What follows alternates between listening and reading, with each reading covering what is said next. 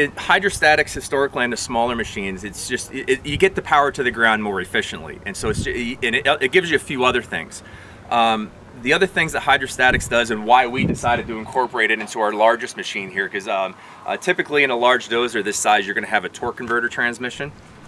The hydrostatic transmission gives you infinite speed control.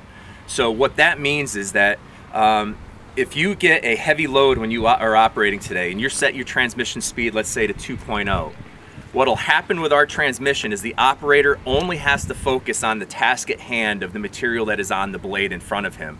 So if you encounter a big load, our transmission will automatically slow down, get the load, and push through the load and then get back up to that 2.0 speed. There's no shifting involved.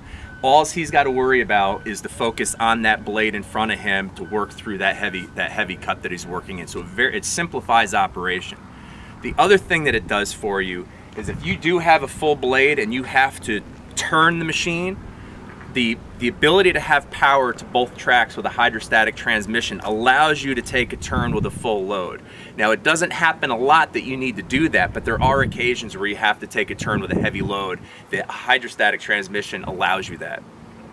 The other thing a hydrostatic transmission does is it allows you the ability to counter rotate on the go.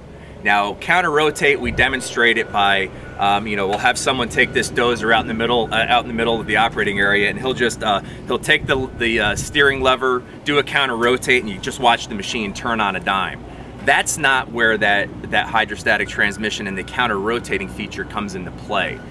If you're, if you're um, say, pioneering a road and you're trying to cut up a, up a slope, what'll end up happening is, is that the, the, the slope is going to try to pull the machine into the slope. And so uh, a lot of times you'll see an operator back up, reposition, and then get back into the cut. With the, with a counter rotating feature with a hydrostatic transmission, on the go you can just correct that machine and keep your line going. So it, it allows you to make that cut uh, uh, very quickly and uh, you, are a lot more productive because you're staying on task there with getting up through that slope. It allows us the ability to customize how the machine operates. And what I mean by that is we have, um, you've got your forward, neutral, and reverse operation. You've got your um, hydraulic response, but you also have on the floor your decel pedal. We have one single pedal on the floor uh, as opposed to two. And what we can do is if the, if the operator wants that machine, uh, when they cut it, get at the end of, an, end of a cut and they want to do a direction change, sometimes the operator likes to feel that they have a little bit of a rollout before it changes direction. Well, if he likes the feel of that, we can customize the reaction of that FNR, the uh, forward neutral reverse rate, down to a lower response rate. But if he wants a quick, snappy response, we can dial that up to a, a high, quick response. So it really does allow us to uh, take a look at the at the customer that we're dealing with, the operator and his history uh, uh of what he likes, and make that machine operate the way he likes it. Steering response, we can dial that in as well. So there's three settings. There's uh, comes out of the factory in normal or mid-range. You can dial it down to low if he wants a slower response, or you can dial it up to high if he wants a real quick, snappy response on the machine. All of our K-Series dozers have, a have a uh, eco mode. Now, eco mode is a feature that a lot of machine forms is, is starting to incorporate as fuel economy is becoming more important. But as I mentioned before, that with the John Deere engine and our team controlling the software on the hydrostatic transmission, the eco mode on our machines operates. It's it's it's a neat feature.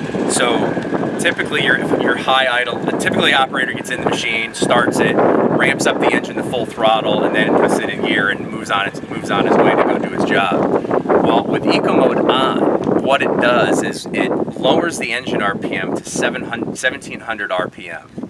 And because in a lot of a lot of times when you're if you're not carrying a big load, you don't need that engine all the way up to full throttle. So the unique, the great thing about our machine is that as soon as we as soon as the machine recognizes that it's got a big load on it, the engine automatically ramps back up so that it gets full performance. So it's it's a it's a great system. Uh, it, it, recognizes the load on the machine. So if you don't have a big load and you don't need full engine RPM on this machine, we have that uh, engine RPM come down. But as soon as we see a load on that machine, it quickly ramps up.